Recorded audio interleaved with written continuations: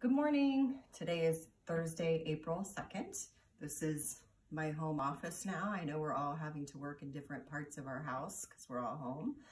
Um, but this is where I've been working right by the window. Just kind of nice. It's getting messier and messier as we go. Let's go ahead and start today with a Hail Mary. In the name of the Father, Son, Holy Spirit, amen. Hail Mary, full of grace, the Lord is with thee. Blessed art thou among women, and blessed is the fruit of thy womb, Jesus. Holy Mary, Mother of God, pray for us sinners, now and at the hour of our death. Amen. In the name of the Father, Son, Holy Spirit. Amen. Amen. All right, also today, um, I was going to show you, like, I really like to do puzzles. So this is a puzzle that I'm working on, and then don't mind my messy loft.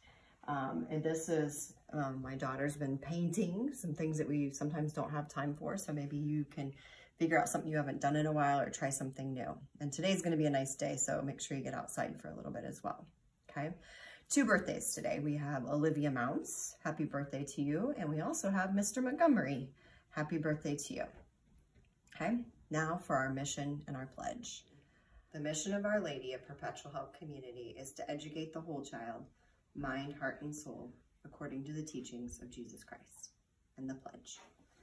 I pledge allegiance to the flag of the United States of America and to the republic for which it stands, one nation, under God, indivisible, with liberty and justice for all. Make it a great day.